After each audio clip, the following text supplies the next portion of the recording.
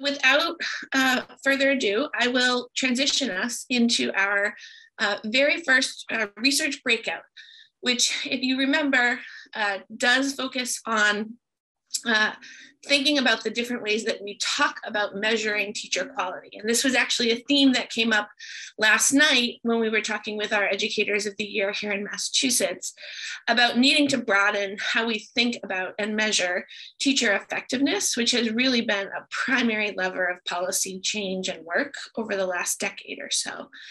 And so our um, research presentations will both focus on work that's being done in this area through several different uh, lenses, and then we'll be excited to engage in discussion. And I'm gonna turn it over to Olivia. Good morning, everyone. Thanks so much for joining us. Uh, welcome to breakout number one, measures of effectiveness centering best practices and outcomes for English learners and students with disabilities. My name is Olivia Chi. I'm an assistant professor here at BU Wheelock. I'll be the moderator for this session. In today's session, we'll be diving more deeply into how recent research is considering measures of effective teaching. So I'm sure that most folks attending the session would agree that high quality teachers are really important for determining student outcomes.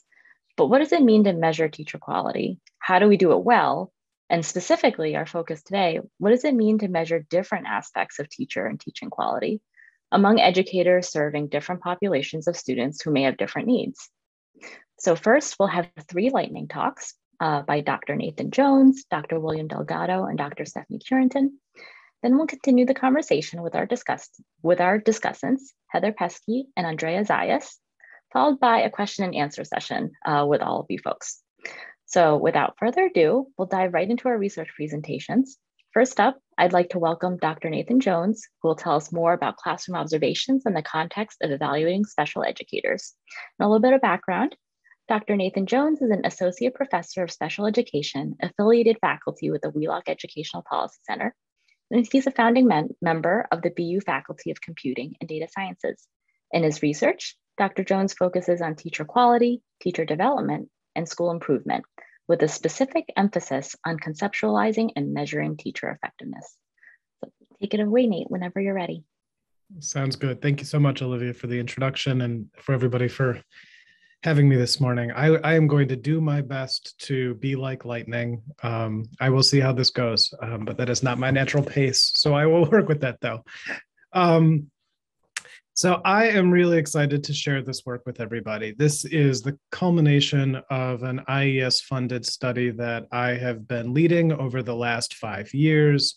Um, focused on using classroom observations in the evaluation of special education teachers. Um, I am presenting this work on behalf of a very large team spanning multiple uh, institutions, including ETS and the University of Florida. The other thing that I will note as I'm jumping off here is even though I'm discussing the evaluation of special education teachers, um, I think the lessons from this research uh, are really about a broader range of educators. And it really has to do with who gets to define effective teaching. And when we say effective teaching, what do we mean? Effective teaching for whom? So, our rationale underlying this work is that Observation systems are used in most all districts across the country for two purposes. One is for teacher evaluation, the formal evaluation that teachers are involved with each year. And second is teacher improvement. And one of the things that we've seen over the last five, ten years is as we've retreated away from an enthusiasm for formal teacher evaluation, we've seen more of an emphasis on this focus on teacher improvement. How can we use the data generated by teacher evaluation to help teachers develop over time? And for cost and scaling reasons, most districts use a single general protocol for all their teachers. Um, and one of the things that we sought to investigate was what are the trade offs of this choice? The reason that we push on this question and the reason I'm excited about it is that we have a wide range of evidence at this point suggesting that effective teachers are those who can deploy a wide range of instructional approaches based on their student needs. So it is simply not sufficient to be using explicit systematic instruction for learners who are just starting to learn new information all of the time. It is also not sufficient to be using student centered inquiry based approaches all of the time, but instead, Effective educators are those who can deploy a range of instructional approaches based on where their students are at and what their needs are. But that reality is often not reflected in the observation systems we use. They tend to carry singular definitions of good teaching. So I'm going to be talking about the framework for teaching. This is an observation system used in many states across this country. While it is not used in Massachusetts, um, I think some of the lessons that I present here uh, have implications for Massachusetts, but also other states. Now, FFT is noteworthy because it emphasizes student construction of knowledge and student mediated instruction. So, effective instruction is instruction where students are in the driver's seat of their classroom. Now, this is not to suggest that this is not valuable for all students. However, one of the things motivating this work is that we have a body of research in special education suggesting that for kids with disabilities, um, they often benefit from more time involved in teacher directed, explicit, systematic instruction. So for us, the question was when we look at the use of an observation tool like this with special education teachers, does this tool capture their instruction? So, as I shared, this was a, a, study funded by the US Department of Education, along with my co PIs, Courtney Bell at ETS and Mary Brownell at University of Florida. And our procedures here were that over a, a period of two years, actually, we ended up videotaping 50 special educators in Rhode Island, four times each. Um, these instru- these teachers were then scored by trained raters. Uh, they were double scored and we ended up comparing scores on the FFT to another measure that was more, more closely associated with special ed practice. Now, the important thing to note before I show the results of this work is that FFT is broken out into a few different domains.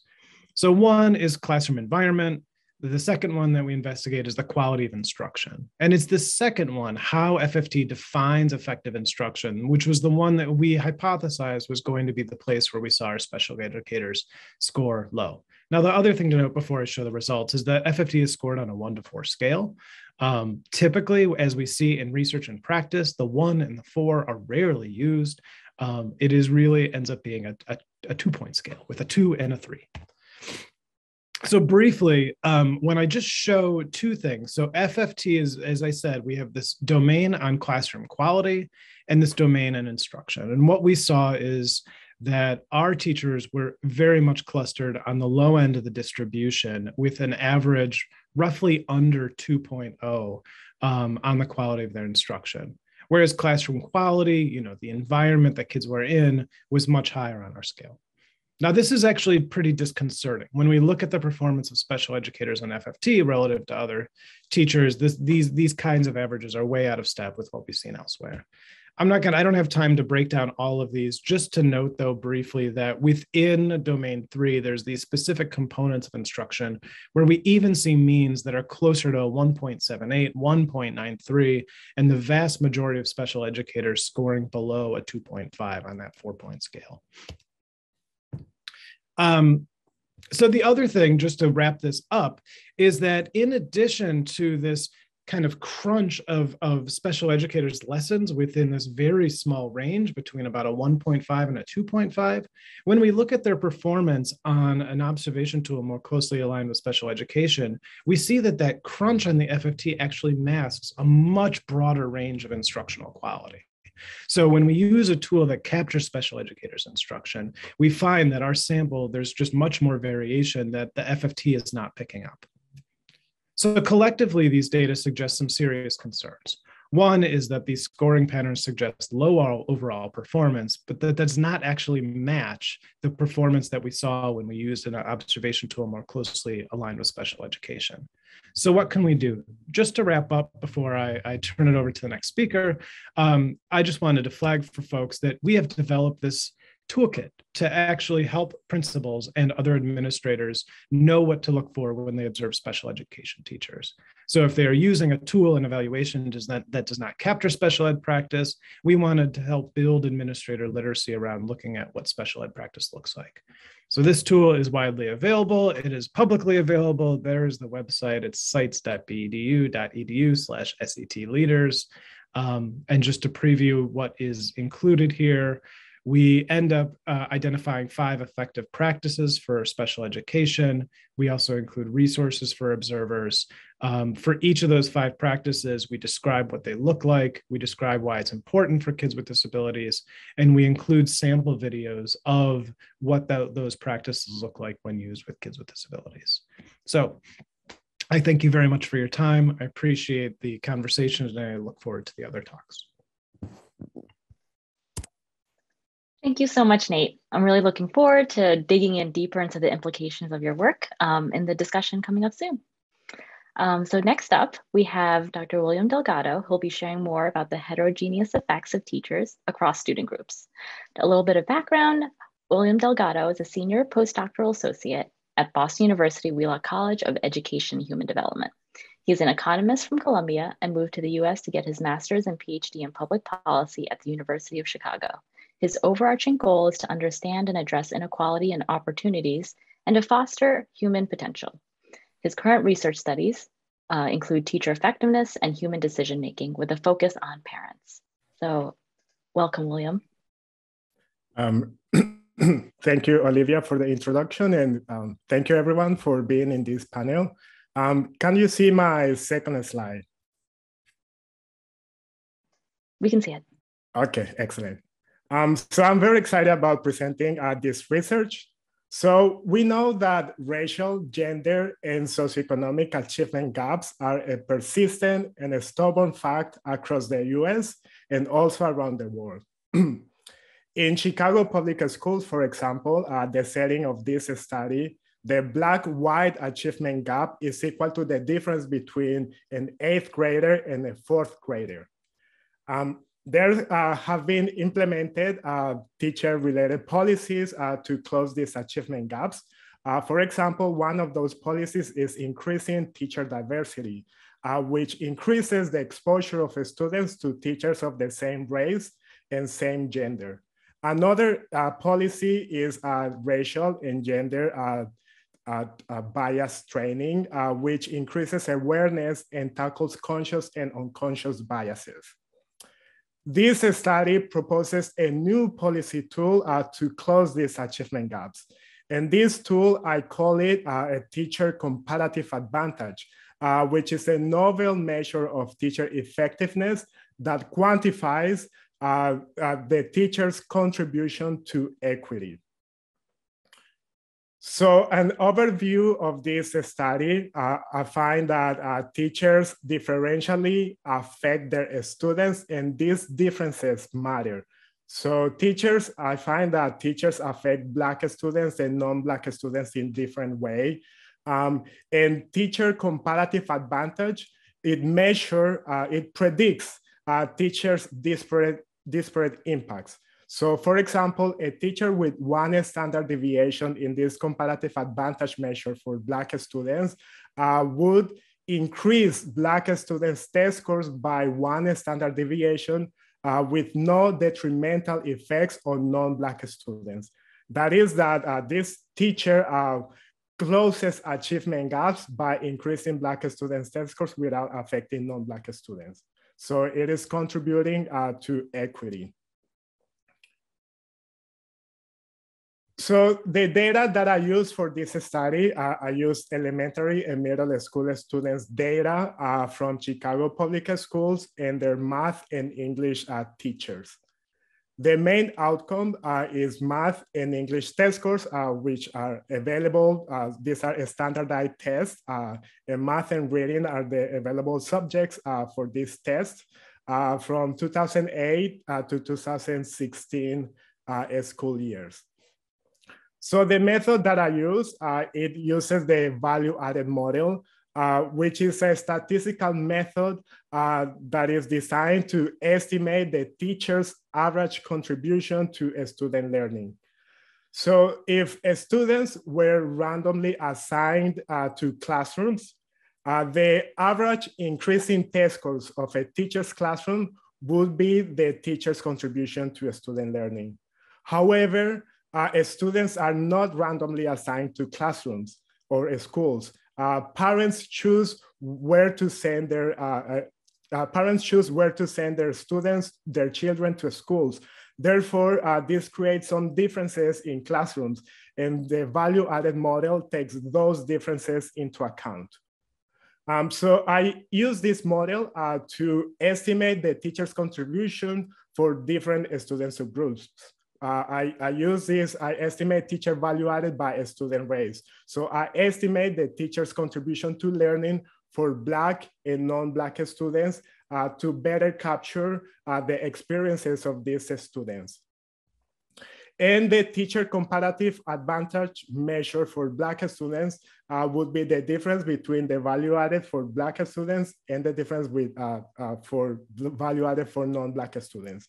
Uh, given that we want to close the achievement gaps, non-Black students is the reference group and the comparative advantage measure is relative to that reference group. So this is one of the findings of this study. So I find that teachers differ in their overall effectiveness and also on their contribution to equity. So in this graph on the right, um, each dot represents a different teacher. Each teacher is uh, now has two values. One value is uh, uh, with respect to the overall effectiveness, that's the conventional teacher value added measure. That's on the horizontal line. And the second value is the teacher's contribution to equity, with, which is on the y-axis.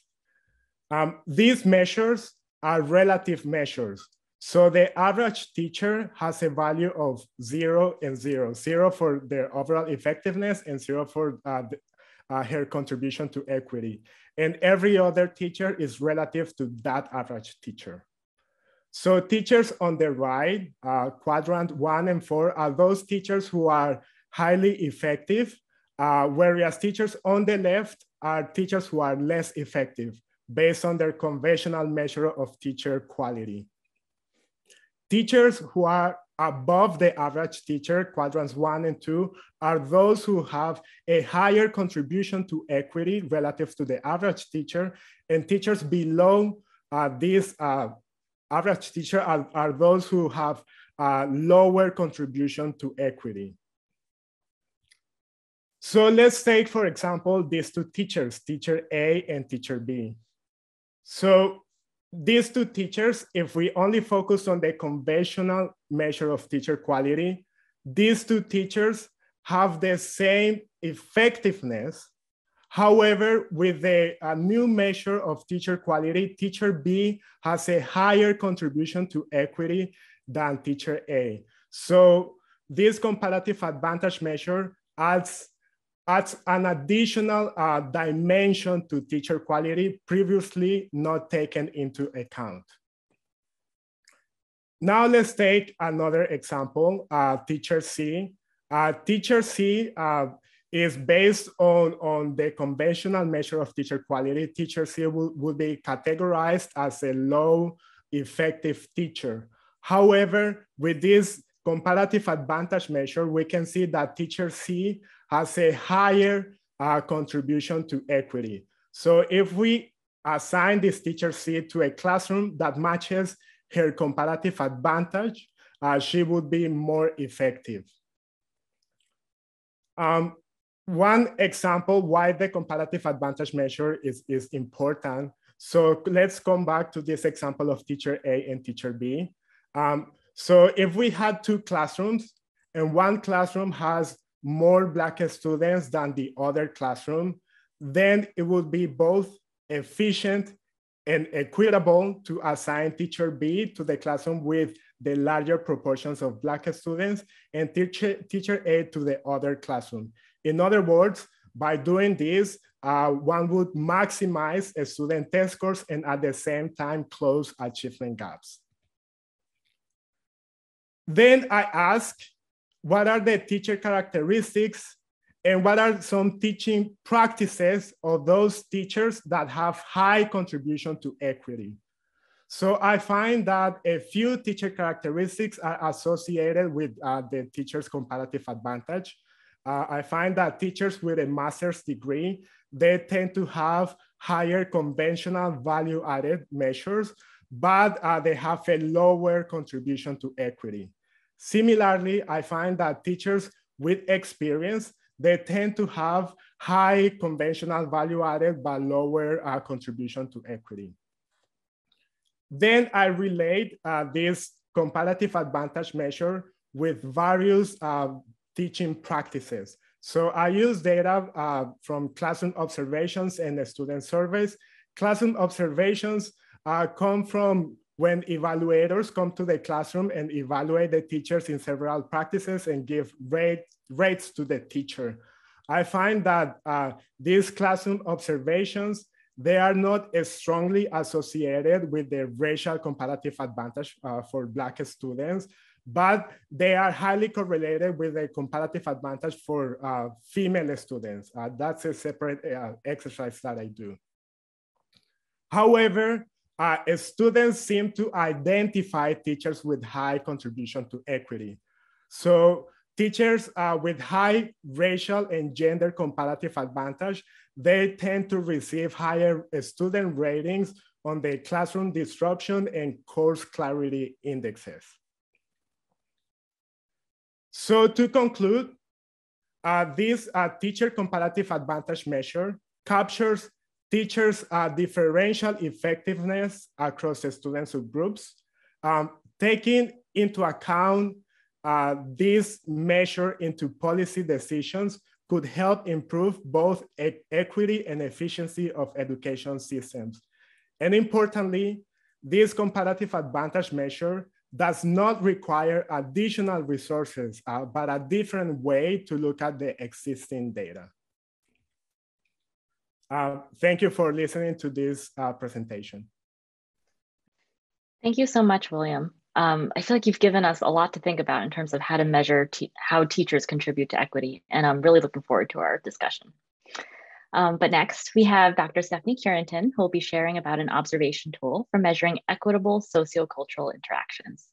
So Dr. Stephanie Curenton is a tenured associate professor here at BU Wheelock College of Education and Human Development and she's the director of the Center for the Ecology of Early Childhood Development. She studies the social, cognitive, and language development of low income and minority children within various ecological contexts, such as parent child interactions, early childhood education programs, early childhood workforce programs, and related state and federal policies. So, welcome, Stephanie. Hello. So nice to be here today. Let me share my screen. Okay, you can see that, right? All right, so today I'm here, today, so I'm here to talk to you about um, bringing race into the classroom, um, describing the ACSES tool and describing the ACSES tool and its implications for a teacher education.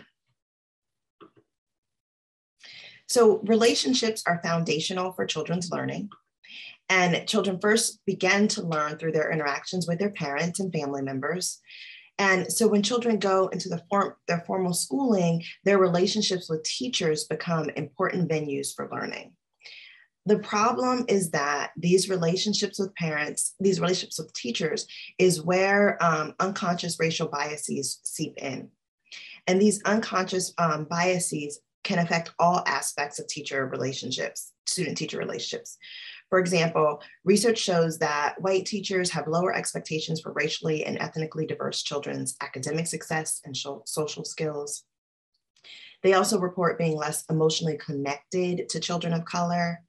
And these teachers also have more negative perceptions of children's behavior, which we see um, at, borne out in our disciplinary practices.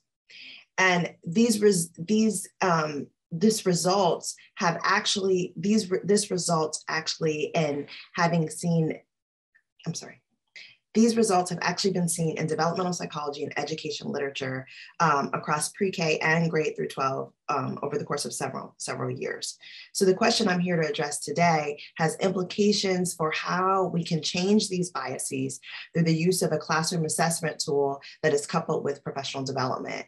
And the way in which we can do this is by first starting to reconceptualize how we see classroom quality.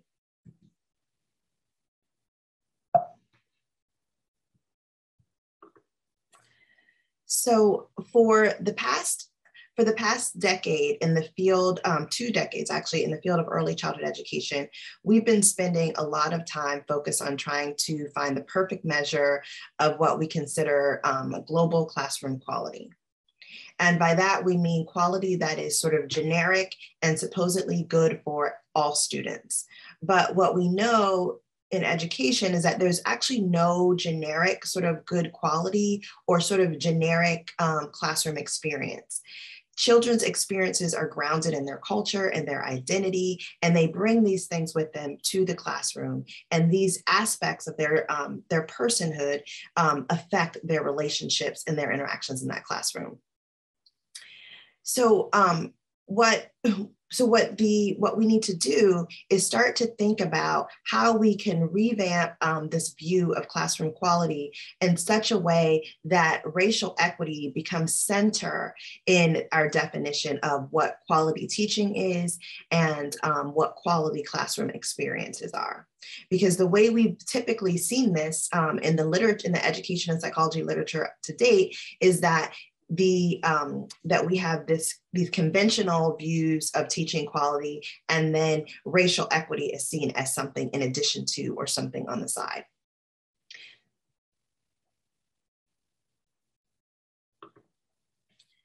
So it, there's really um, it's really important that we start to revamp our educate our point of view of what classroom quality is because we see so many disparities in the school experience from preschool all the way through K through 12.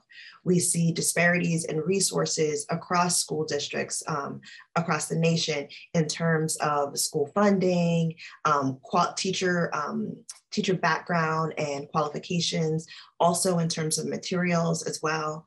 Um, our schools, our pre preschool as well as our K through 12 schools are highly segregated. Um, unfortunately, our preschools are even more segregated than our K through 12 schools.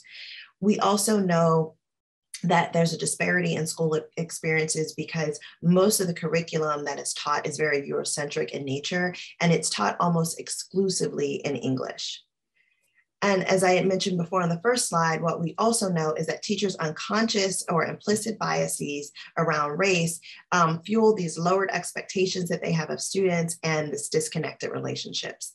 And these things also lead to harsher disciplinary actions. So what we see across um, across all of our data with school discipline from the Office of Civil Rights is that children of color are more likely to be suspended and expelled than um, white children are. And this occurs from the preschool level all the way up through the 12th grade level. So what what we brought to the table here and what we're trying to do is to reconceptualize classroom quality so that the idea of what is general um, quality and what is racial equity quality is combined in terms of one measure. And so in the act we call the measure um, ACSES and it stands for assessing classroom social cultural equity scale. And there are six dimensions in ACSES. One dimension is called challenging status quo knowledge, which means um, that uh, teachers are incorporating materials and discussions in the classroom that are non-stereotypical in nature and that also show um, people of color having a sense of agency. The next, the second dimension is what we call equitable learning opportunities for racially marginalized learners. And these um, equitable learning opportunities, this, met, this dimension specifically measures teachers' behavior directed at the racially marginalized kids specifically. And it um, goes, it looks at things such as um, the level of difficulty in questioning. It looks at sort of a, whether or not there's a genuine emotional connection. It looks at whether or not um, the children of color are actually able to participate in these learning conversations and learning interactions as well because the teacher is calling um, on them to answer questions. And um, and then the third dimension is what we call inequitable discipline. So it's reverse scored And what it looks at is um, there are items that look at sort of the general discipline climate in the classroom. And then there are other items that look specifically at how discipline is directed towards racially marginalized children. And this is one of the areas too where um, ACSES is very unique from um, some of the other measures that we have in our um, early childhood space because it is um, specifically trying to address differential um, disciplinary practices between um, RMLs and white children. We also um, have a dimension that looks at connections to home life, and this relates to um, sort of how teachers are bridging that homeschool connection. Um, there's also um, a dimension that's called personalized learning opportunities. And in that personalized learning opportunities, this is where um, this is where we're examining whether or not teachers are using a variety of learning modalities and a variety of materials. It looks at whether or not there are um, strong conversational feedback loops happening um, in the interaction. It looks at whether or not um, teachers are providing causal explanations for behavior um, and um, and it also looks at um, whether or not the activities um, that are happening in the classroom allow for creativity and for children to bring their opinions um, into, the, into the learning space. And lastly, we have a dimension that is really based upon um, how racially marginalized children are participating and engaging in that classroom space. It looks at their interactions with their peers in relation to um, how they're cooperating together, whether or not they have a genuine emotional connection with their peers, and whether or not they're talking um, with their peers about um, instructional related things as well as maybe um, outside of school related conversations. So what we have found is that um, we have several studies um, that shows uh, repeated concurrent validity for the ACSES tool with well-known widely used measures of classroom quality. Um, we've seen this in our 2019 paper that was published, but also in more recent samples um, in Nebraska in grades kindergarten through third, and also in a national sample of grades four through five. We also saw in our um, more recent child development um, paper that the ACSES dimensions are predictive of child outcomes, um, but the rate, but it's moderate, it's moderated by the racial composition of children's classrooms, and such that the association between ACSES scores and child outcomes in math and executive functioning skills are moderated between the proportion of how um, the percentage of racially mar marginalized children in that classroom. Let me show you a graph that um, shows that. So what you can see here is that our research show um, has found that the association between personalized learning opportunities and children's executive functioning differs as a function of the racial composition of the early childhood classrooms. So in this blue line, we have classrooms that are um, have a high concentration of racially marginalized children defined as defined as 60% or more of the classroom. And then we have the green line, which is a low um, classroom um, composition of racially marginalized children, which is um, um 60, 40% or less. And what you can see is that as teachers um, scores in, um, in in personalized learning opportunities increase, we see that also that there's a positive effect for um, children's executive functioning skills.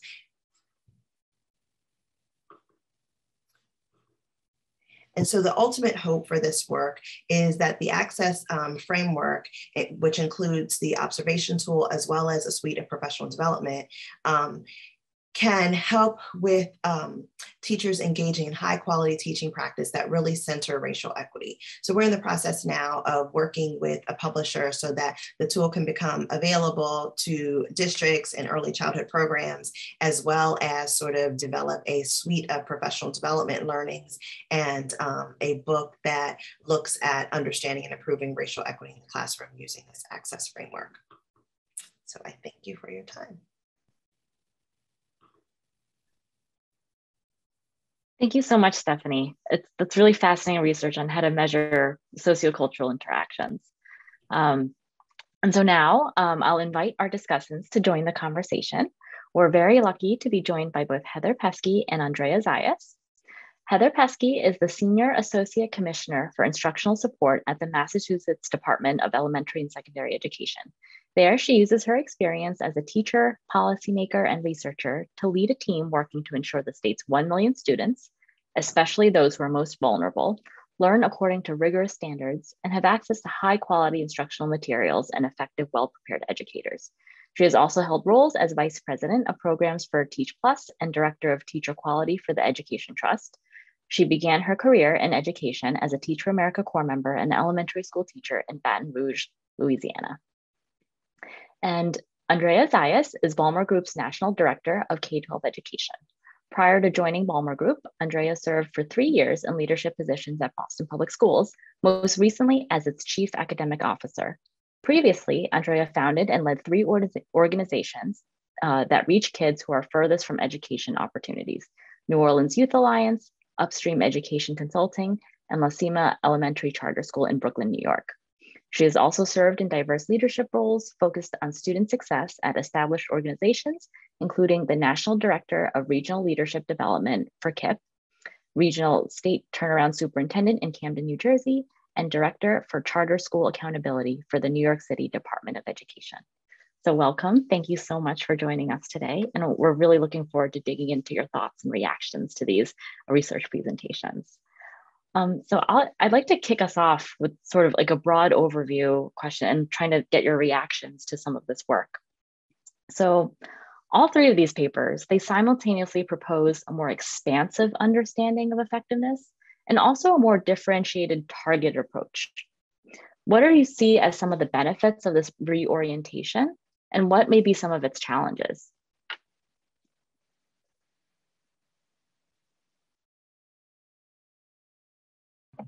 I think we're only pausing because we're not sure who's going first. Oh, um, I'll I'll I'll uh, send it to you, Heather, first. Okay. Um, so first of all, I, I, found these research papers so interesting as a state policymaker who leads a team called the Center for Instructional Support where a lot of our work is focused on supporting teachers both in pre-service and then in in-service to be effective with their students. So the three papers made me think, which it was uh, like they're just really compelling. So to the point to your question about um, expanding as well as targeting our definitions of, of effectiveness, I think this goes back to some questions that um, that Dr. Jones raised, which are who gets to define effective teaching and effective teaching for whom. And I would add as well, um, what's our purpose here? And so we have a multitude of purposes. One is measuring teacher effectiveness, and that's really like determining to what extent teachers are well serving students. And you can have a host of definitions under that phrase, well serving students. A second purpose is evaluating, um, figuring out to what extent uh, teachers should be in classrooms with kids, to what extent they need additional support, to what extent do we need them to support them to do something different if that's the case, which is very small and slim. And then also, we want to promote improvement and we want to provide teachers with meaningful feedback. So, those are a multitude of purposes, and the same instrument doesn't always meet all of those purposes. So I would add that as a policymaker, um, inevitably policy is a blunt instrument and it gets more blunt the larger the scale. So here at the Department of Elementary and Secondary Education in Massachusetts, we tried to build an educator evaluation framework that rested on a definition of effective teaching that would be applicable to 79,000 educators, both teachers and principals across the state, serving nearly a million students. And our state is relatively small. So I think that's part of the, the difficulty in trying to uh, better target our definitions and our instruments, and also part of the challenge and part of the opportunity. So I think I would just broaden this by asking the question of if we want to provide better supports for teachers to improve, what types of opportunities do we have and what kinds of instruments and so I would broaden us beyond just the teacher evaluation system to looking at a variety of parts of our system from teacher pre service and expectations for what we prepare teachers to do, to teacher in service, professional development. Um, teacher professional learning communities that were mentioned last night. So, like, what are the levers we have available to us and the different opportunities we have for supporting teachers to better serve their students? And then what tools can we use within those different levers? I'll pause and kick it off to Andrea now. Thanks, Heather. Good morning, everyone. Uh, I really couldn't agree with you more, Heather. I think the the, the core question um, is what is the purpose um, that through which for which we're using these tools.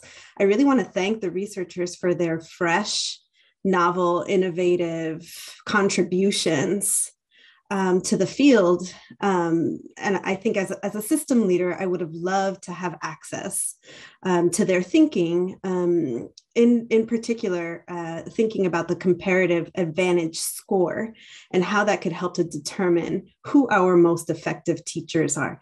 I, but taking a step back, there's an, a huge benefit to being able to, to more keenly and specifically pinpoint what the coaching points areas of strength areas of improvement are that that um, that we can provide to teachers right?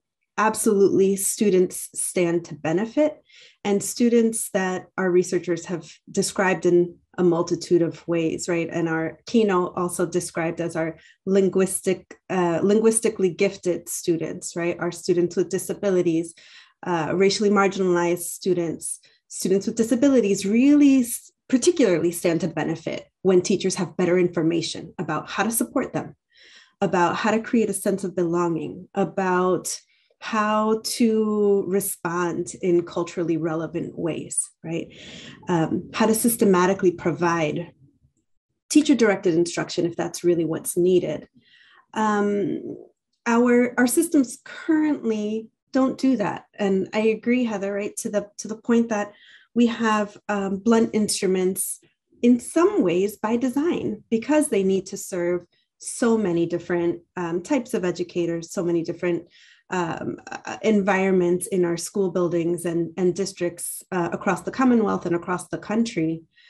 Um, that said, I think, you know, I think about it in two ways. We're looking both, we're looking for these tools to do too much. We're looking for them to provide us the kind of uh, information that we need as system leaders to evaluate teachers for workforce purposes, raises, new roles, continuation of contracts. And on the other hand, we're also looking for these tools to give us the kind of information and give teachers the kind of information that they need to grow, to become better educators, um, and to better serve their students for a number of reasons sometimes those purposes are cross purposes, um, sometimes even in conflict with each other. Um, the evaluation systems themselves sometimes don't lend themselves to the, the kind of frequent formative information that teachers really need in order to have that information um, transform their teaching, inform their teaching, and really be reflected um, in their classroom practice every day. So, more tools, more robust tools, along with support and training, could potentially increase capacity. Yet, I would question how might we potentially decouple those two purposes to have both be even more effective? Thank you both so much. I feel like I heard uh, I heard a lot. I heard both of you discuss this need for instruments for that may be separate for development of teacher skills and maybe separate tools for evaluation. And so as we're thinking about, you know, having these more nuanced measures of teacher effectiveness, and maybe you might want to speak to this in just one domain or the other, maybe just specifically in terms of how to use these tools for teacher development, what might be some pathways forward for adopting these more nuanced measures, uh, like the ones discussed in these papers within states and districts? What might be some potential hurdles in adopting or using these types of tools? I'll, I'll start with uh, Andrea. Thanks, Olivia. So picking up on the on the idea that the two purposes may be in contradiction to each other, um, right? When we think about uh, well, let's see. Um, so if we if we think about um, the quantitative aspect of uh, comparative ad- advantage, I think that most easily lends itself to being incorporated in an evaluation system as an algorithm, right? As a as a as an as an aspect um, of uh, of a score that can be given to a teacher, right, and incorporated into into evaluation processes. Um, Dr. Curenton and Dr. Jones's work, on the other hand, I think could more easily lend themselves to the qualitative and coaching aspects um, that can be embedded into, you know, weekly coaching meetings inside of a coaching structure, into peer observations, and even into the ways in which um, I would ideally like to see teachers inviting students and families and having systems invite students and families into the observation process to more robustly give teachers um, experiential data, including family and student satisfaction and experience information into that um, holistic view of you know how a teacher is performing. Um, so separating those two, I would see Dr. Delgado's work being more easily applied in an evaluation context, um, and the other two pieces, uh, the other two tools incorporated into a coaching structure. I think that's uh, really helpful, um, really helpful perspective. And I think the way I was thinking about this in terms of development and evaluation is thinking about what the tools do and then also like what's included in them and what the results are that are being measured. So for example, um, in Dr. Curenton's tool, the, there are these six dimensions of the tool. And I think about the developmental aspects of those different dimensions because they're they're they could help a, a, teacher in the early stages of career better understand the different dimensions of being an impactful teacher um, and I wanted to dig in even more to learn like, what does it mean of these six dimensions? Like, what does challenge the status quo look like if you're a teacher? I remember challenging the status quo as a brand new teacher and doing it terribly when I asked rude questions to the principal during a staff meeting. So this notion of challenging the status quo while being politically savvy, and the fact that that's uh, has a relationship to student outcomes was fascinating to me. So, are there ways to build in teacher preparation or professional development around these six dimensions? Um, you know, what is what does it look like to, to do discipline in a more equitable way? Um, whether that's about the inputs of the discipline or the outcomes. Uh, so I was fascinated by that and thought of it more in, on the developmental side. Um, I, I, had a hard time envisioning with Dr. Dr. Curenton's work how we would incorporate those dimensions into an evaluation system because I worried that in so doing, we would somehow um, pervert the intentions of the dimensions. So, to be really concrete, like if we measured in the evaluation system um, the extent to which uh, teachers developed personalized learning or not, it might just drive a sort of compliance based approach to personalized learning that we wouldn't actually want to see. Um, so, and then in regards to Dr. Delgado's work, the thing, one thing that interested me so much is that the outcomes that he uses are value added scores, which are based on student assessment data, standardized assessment data. And so I was really fascinated by this notion of measuring um, a teacher's contributions to equity by using standardized assessments and i think someone had raised in the chat this question of like what, what are what are you specifically using to define contributions to equity. And i think that's an area that um, deserves like a deeper treatment. And again there again i would want to know like if you embedded some of these dimensions of contributions to equity in an evaluation system a formal evaluation system to what extent would that drive behaviors on the part of teachers that we would want to see? And to what extent would it look more like some sort of rote set of processes so in all of these questions about policy we have to really ask like what behaviors do we want to drive? And how do we use the existing systems and structures or blow them up altogether and create new systems and structures to drive behaviors that ultimately are good for students? Um, and then finally i would say in terms of dr jones work um, I really I, I appreciated the specificity of teaching students with disabilities and the push to us to say, you know, we've built these evaluation systems on a foundation that is content agnostic and student characteristics agnostic. That is, they're designed to be applied regardless of whether you're observing and evaluating a teacher in mathematics or observing and evaluating a teacher um, like Juliana, who teaches multilingual learners. And so I think there's room for resources to be built. And um, Dr. Jones' set of, of work, he's already building out a big project to do this, but there's room to build resources that can support the specifics and the specific context within which teachers teach and the specific demographics and, um, and assets of the students whom they teach. So, for example, at the Department of Elementary and Secondary Education, we built a set of resources and tools for principals to use that are really specific to the grade level and subject um, within which the, um, the teacher is teaching.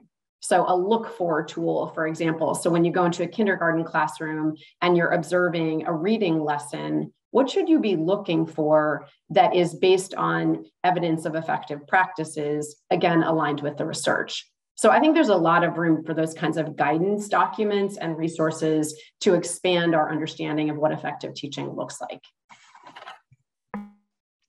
Thank you so much to both of you. Um, so I feel like as you were responding, it sounds like there are different entry points pot potentially for these different types of tools. It may be the case that folks might want to uh, be adopting um, the use of these more nuanced observation tools in um, developing teachers. Maybe we can more thoughtfully look at teachers' contributions to test scores and equity using measures such as those proposed by William in his work.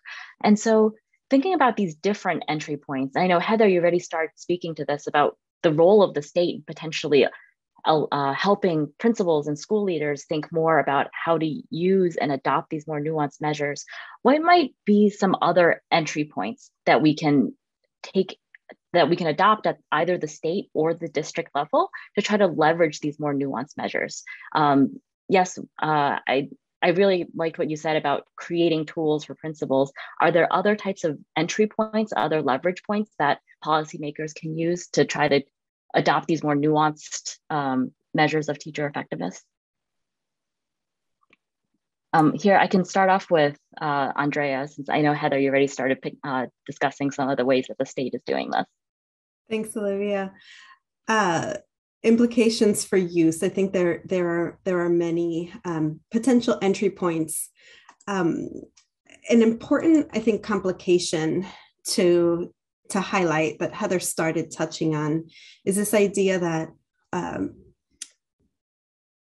administrators are walking a really tricky tightrope, right? And the the tools um, and the processes themselves um, can be uh, I think the word that you used was perverted, right? Uh, the intention twisted um, because of the dynamics, the really tricky political tightrope dynamics that exist in our school buildings. So, just to make it plain, a, a, a school leader is responsible for, as we all know, right, for um, producing teacher evals, but also maintaining positive rapport and a positive school climate, um, amongst and with their teaching staff. It's, it's no wonder why oftentimes the single, um, the single, uh, which, which should be an an ongoing formative dipstick taking, right, or, or measure or temperature taking in our classrooms over the course of the year with frequent feedback turns into a once a year um, uh, a once a year, you know, a report that's given to a teacher with some findings um, without much of a conversation taking place. And, and that's that's to say it's no wonder that that happens because um, oftentimes administrators are um, trying to keep the peace in their building, create a positive culture. And we don't have a culture and a climate inside of many of our spaces where feedback is, um, uh, is building on a culture of trust um, building on a true culture of adult learning. So, um, because of that, right, um, we're left with the, with administrators, t- you know, really walking this tightrope of trying to create rapport, create positive school culture, um, help grow their teachers, and it's really politically tricky, right?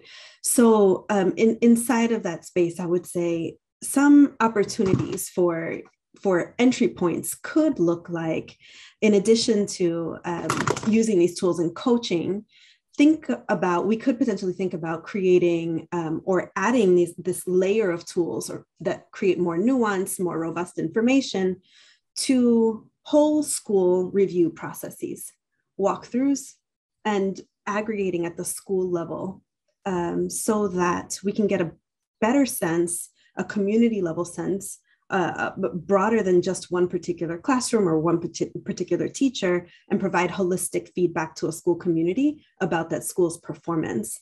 Um, that may start to um, start to chip away at some of the trust challenges that exist inside of evaluation processes and also contribute to broader um, school quality uh, reviews and processes that are more comprehensive that really assess and quantify but also qualify school culture uh, take into consideration student and parent satisfaction, that sense of belonging. Again, um, many of the dimensions, the six dimensions of ACSES, could easily be incorporated in that kind of a school wide review, um, as well as the nuance in uh, Dr. Jones's research um, that would give us a sense of a comprehensive set of instructional strategies, not just the ones that are highlighted in the tool like the FFT or, or others that are used. Um, so an entry point might be something like that, right? Uh, we're going to take a school-wide look rather than a teacher by teacher look to leverage those um, um, those processes that unfortunately sometimes are thwarted by the political undertone of the evaluation processes that we have in place. Um, I'd say also really specifically the, the racial climate um, component of the of uh, of the ACSES tool could really lend itself well to a community feedback process that systematically brings community into schools to walk through um, alongside teachers as part of a peer um, review process um, and and expand uh, expand the the number of eyes right and whose eyes are uh, contributing to and whose voices are contributing to a, a broader definition of what a quality classroom looks like what the interactions are like, and what quality teaching and learning looks like. Um, bringing the voices of those families and community members that are most impacted, I think will provide some of that um, counterbalance in these evaluation systems um, to, to, to push us to really adjust to the needs of our students. Thank you. Thank you so much, Andrea. I was wondering, Heather, did you have anything else to add? Um, I know you already started discussing the entry points, um, but I was wondering if you had anything else. Sure. I would say so. One entry point is at the state level. And so we are in the midst of revising the teacher evaluation rubric, which is a model rubric. Districts can opt to adapt to, excuse me, adopt or adapt the rubric, or they can create their own. So we're in the midst of doing that now. And after I read these papers, I sent them the findings to my team to say, you know, you should consider these findings um, as as continued feedback for that process. So one thing is to keep talking to your state policymakers. Um, the other is that you know districts really choose what kind of evaluation system they want to use. They have to align with the standards and the framework set by the state. But within that, there's a lot of room for districts to, to change what they're doing. And so there's an opportunity to talk with district policymakers, whether that's school committees or the superintendent and chief academic officer, about the measures. But I think there's another element we haven't talked about, and um, this is teachers themselves. And so last night we heard from the teachers of the year and we heard from a panel of um, that included a superintendent. And I just think that there's a real um, reason for teachers to own their profession and own their improvement. And, uh, and it reminds me that, you know, Dan Lortie in the 1960s, who's a sociologist, uh, wrote a book about schools and he called schools the egg crate, uh, an egg crate structure.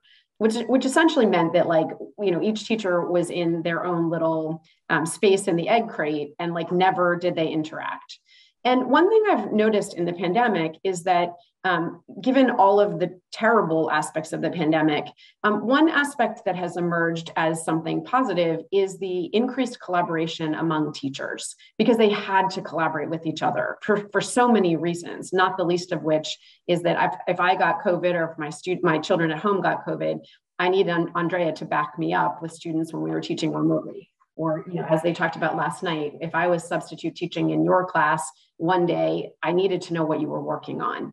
So there was just this increased collaboration.